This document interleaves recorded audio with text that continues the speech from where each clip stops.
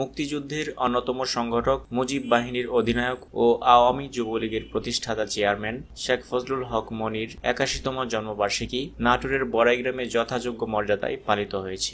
শুক্রবার সন্ধ্যায় উপজেলা যুবলীগ, ছাত্রলীগ ও বনপাড়া পৌর পরিষদের উদ্যোগে বনপাড়া পৌর মিলনায়তনে আলোচনা সভা, দোয়া মাহফিল ও কেক কেটে শেখ মনির জন্মদিন পালিত হয়।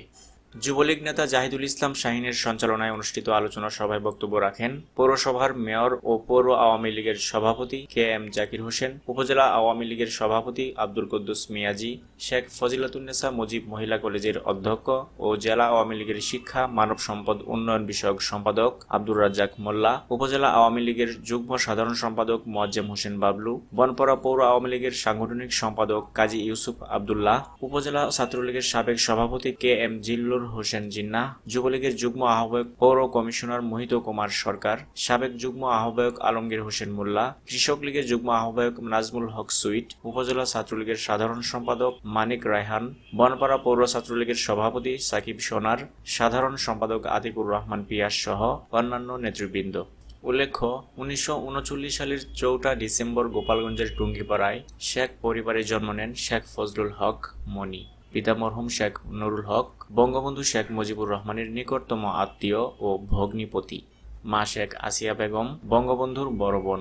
উনিশশো পঁচাত্তর সালের পনেরো আগস্টের কালো রাতে জাতির জনক বঙ্গবন্ধু শেখ মুজিবুর রহমান ও তার পরিবারের অন্য সদস্যদের সঙ্গে ঘাতকের বুলেটে নিহত হন শেখ মনি।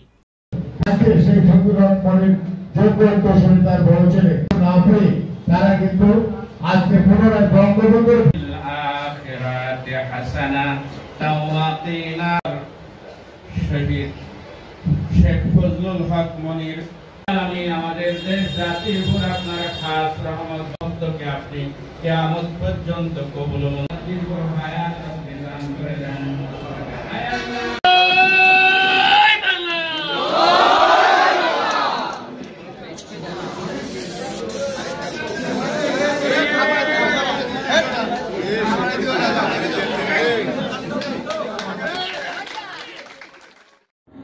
আমাদের নতুন নতুন নিউজগুলো প্রতিনিয়ত আপডেট পেতে আমাদের ইউটিউব চ্যানেলটি সাবস্ক্রাইব করুন এবং ডান পাশের বেল বাটনটি চাপুন।